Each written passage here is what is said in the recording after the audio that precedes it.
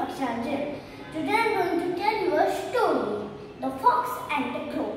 Once upon a time there was a crow who was very hungry. He didn't get anything to eat. He got tired and sat on a branch of a tree. Suddenly he saw a piece of a cheese in the plate.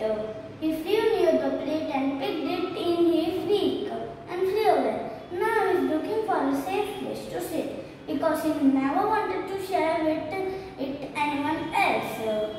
He then he sat on a quiet place on a tree. The cunning fox saw the crow with cheese. Her mouth started watering. He quietly made a plan to get the cheese from the crow. He sweetly said, Hi handsome crow, I am Foxy Proxy. My, I live nearby. My friends told me that crows have a very good voice.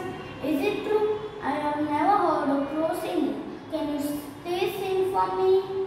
The crow was surprised because no one had placed his voice before. But so he kept quiet. Fox continued praising him.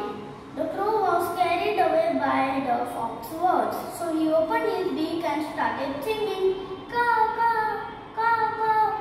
Down fell the cheese. Fox picked it and ate it all, yum, yum, yum, yum, yum, yum, and ran away. When the crow realized what he had done, he felt very bad. Moral of the story is beware of the flatterers. They are not to be trusted.